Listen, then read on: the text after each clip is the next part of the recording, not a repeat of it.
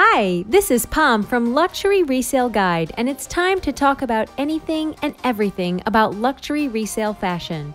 Today, we will review Louis Vuitton Drouot Crossbody. Crossbody bags can be the perfect fashion accessory on any day. Louis Vuitton's Drouot is no different. For avid followers of Louis Vuitton, you are well aware of how absolutely gorgeous the monogram canvas print can make any bag look. That isn't the only thing that determines the worth of a bag, though, especially a crossbody one. Let's take a look at the discontinued Louis Vuitton Drouot collection and see if it's the next Louis Vuitton you want to add to your collection.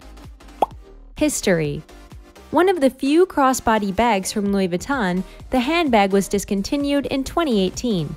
It's one of the most affordable bags from the company and has been going around on the resale market for a long time.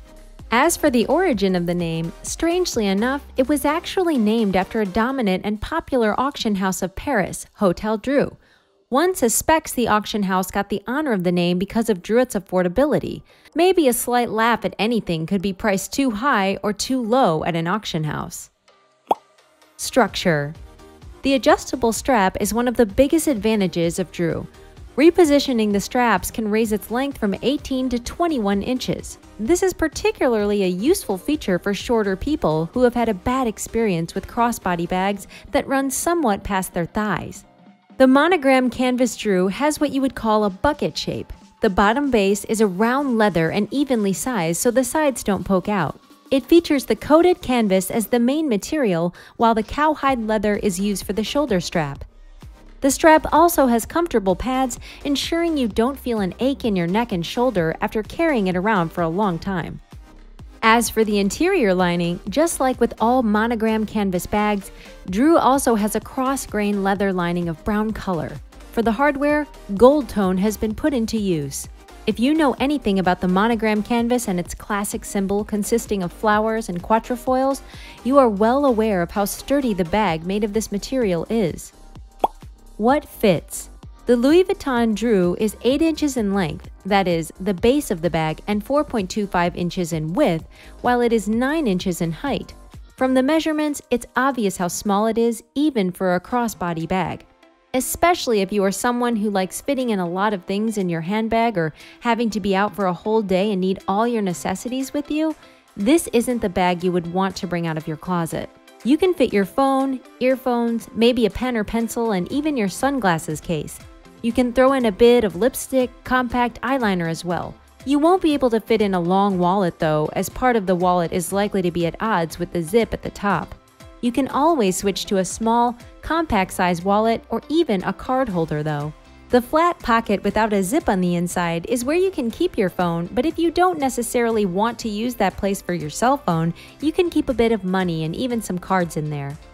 Maintenance Out of the Louis Vuitton collections, the Drouot can be regarded as high maintenance. Mostly, this is because of the leather bottom.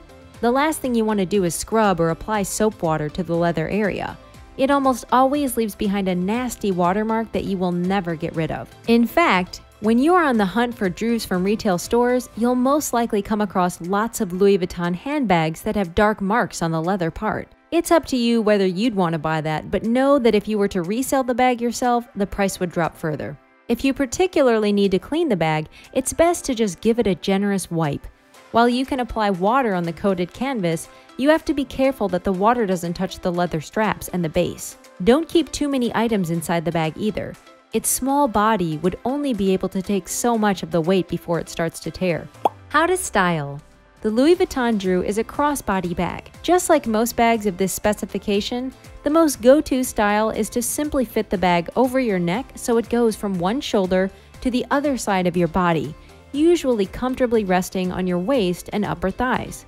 You can let the bag hang off your shoulder to the side as well, though it doesn't have the same modern, classy effect. As we mentioned previously, the straps are adjustable.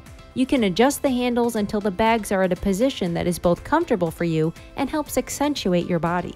You can wear the handbag with most casual cloth choices and even dresses. It's not ideal for corporate style though.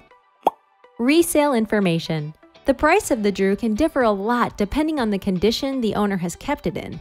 For the most part, it seems to stick between $600 to $1,000 for most resellers, depending on the bag's condition. Authenticity. To check for the authenticity of a Louis Vuitton bag, it's best to look at the stamp and the date code. Date code for the Drouot is located near the zipper where inside rivet is located. If you're buying from a reseller, they should have information on the date code. If they don't, then that in itself is a red flag. Even when the date code and stamp of the country match, you should still see that the handbag ticks off other boxes to check authenticity. The counterfeiters have gotten bolder as well as more creative with their imitation. A shiny shoulder strap for the Drouot, and you should know not to go near it. Vachetta used for the handles turn a darker shade with time, and so if it's the original, it would never be in the clean, shiny condition as the day it was manufactured till now. Resale condition. In a way, you do know what you're getting into when you're planning to buy the Louis Vuitton from a resale store. Not everything about the handbag would be exactly as perfect as the date of manufacture, however, it doesn't mean you should come home with a bag that turns out to be unusable after some time or one you can't resell yourself. First and foremost, you should check the strap. The strap might be cowhide leather, but years of use can lead the fabric to get weaker. You should mainly check on two parts on the strap. One is the buckle, which helps you adjust the height of the strap. Make sure it's in working condition and the handles slide back and forth easily. Another is the part of the strap that connects to the bag. You need to see if it looks like it's going to start tearing anytime soon. Inside the bag, you should check on the pocket. Years of misuse can lead the pocket to be sticky and attached when it shouldn't be the case. Check the bottom leather as well. This is the part of the bag that takes the most load, so it's quite possible that the lining has begun to wear down here. It could also be sporting watermarks from someone carelessly washing the leather part with soap and water. Who should buy this bag?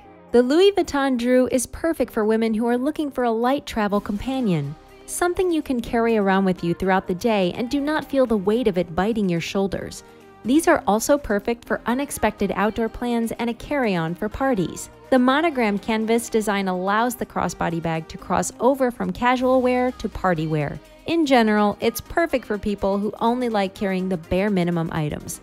If you're a college student or someone with a job that requires frequent traveling all over the city, you will love this bag. On the other hand, the small body does make it a bit of a problem for people who have lots of items they want to carry around with them and have long purses. Overall, the bag should be ideal for you if you are the type to prefer minimum items. If you enjoyed this video, please consider subscribing to help me create more videos like this.